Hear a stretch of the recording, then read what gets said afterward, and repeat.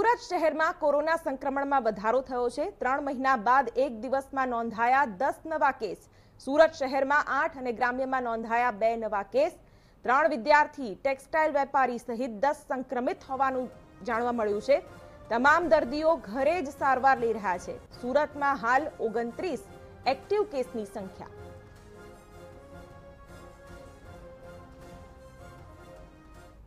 ગુજરાતની અંદર ફરીથી કોરોનાનું સંક્રમણ ધીરે ધીરે વધતું હોય તેવા સંકેતો દેખાઈ રહ્યા છે. ત્યારે સુરત શહેરની અંદર પણ છેલ્લા ત્રણ મહિના બાદ જે કેસોની સંખ્યા છે તે વધી રહી છે. ત્યારે ગઈકાલે જે દસ જેટલા કેસો આવ્યા હતા તો આપણી સાથે સુરત મહાનગરપાલિકાના આરોગ્યના ડેપ્યુટી કમિશનર છે. તેમની સાથે સીધી વાત કરશું. અસલભાઈ કઈ રીતની હાલમાં સિચ્યુએશન છે? કેસો ફરીથી વધી રહ્યા છે.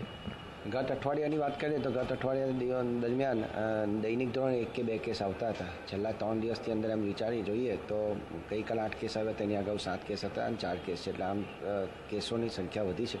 સાથે સાથે ટેસ્ટિંગની માત્રા પણ વધી છે.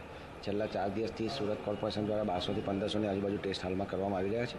સાથે સાથે તમામે તમામ હેલ્થ સેન્ટર ખાતે ટેસ્ટિંગની સુવિધા ઉપલબ્ધ કરવામાં આવી હતી અને તમામ એઆરઆઈ કેસના ટેસ્ટિંગ થાય તે મુજબની તમામ ડૉક્ટર્સને સૂચના આપવામાં આવી છે. સાથે જ કોઈ પોઝિટિવ પેશન્ટ છે, તેમના કોન્ટેક્ટનું, કોન્ટેક્ટ ટ્રેસિંગ કરીને તેના ટેસ્ટિંગની પણ કામગીરી સુરત કોર્પોરેશન દ્વારા હાથ ધરવામાં આવી છે.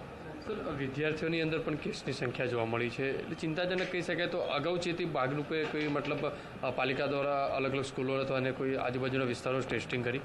હાલમાં આપણે જોવા જઈએ તો જે કેસો આવી રહ્યા છે તેમાં મોટેભાગે કોન્ટેક્ટ ટ્રેસિંગમાં કેસો આવી રહ્યા છે. સાથે ટૂર ટ્રાવેલ્સની હિસ્ટ્રીવાળા દર્દીઓ જોવા મળી રહ્યા છે.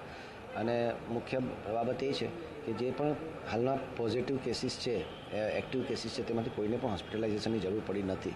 એટલે વેક્સિનનો રોલ અવશ્ય છે એવું કહી શકાય. જે બાળકો છે, તેઓ ઇનએલિજિબલ બાળકો છે કે જેમને વેક્સિન આપવામાં આવ્યું નથી. બાકી તમામ દર્દીઓને બે ડોઝ વેક્સિન લઈ લીધા છે અને કેટલાક કિસ્સામાં પચાસ ટકા કિસ્સામાં પ્રિકોશન ડોઝ પણ લેવાઈ ચૂક્યા છે. આથી આપના માધ્યમ થકી શહેરીજનોને અપીલ છે કે જેમનો સેકન્ડ ડોઝ બાકી હોય તે પોતાનો સેકન્ડ ડોઝ અવશ્ય લઈ લે અને જેમનો પ્રિકોશન ડોઝ ડ્યુ હોય તે પોતાનો પ્રિકોશન ડોઝ પણ લઈ અને પોતાની જાતને સુરક્ષિત કરે. સર જે રીતે કેસો વધી રહ્યા છે સંક્રમણ વધી રહ્યું છે તો પાલિકા દ્વારા કઈ રીતે કામગીરી કરવામાં આવશે? કઈ રીતના આ કેસોની સંખ્યા મતલબ ટેસ્ટિંગની સંખ્યા વધારવામાં આવશે?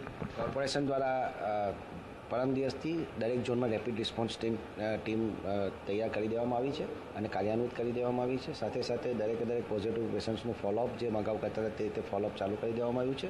અને ઇન્ફ્રાસ્ટ્રક્ચર ઇન પ્લેસ છે. જરૂર પડશે તે મુજબ એચઆર મેળવી ઓગમેન્ટેશનની કામગીરી કરીને ટેસ્ટિંગની માત્રામાં પણ વધારો કરવામાં આવશે આ તો ડેપ્યુટી કમિશનર જે રીતે કહી રહ્યા છે કે તે પ્રમાણે કેસોની સંખ્યા જે વધી રહી છે તેના આધારે સુરત મહાનગરપાલિકા દ્વારા અલગ અલગ જે ઝોન વિસ્તાર છે તેની અંદર ટેસ્ટિંગની જે કામગીરી છે તે પણ વધારવામાં આવી છે.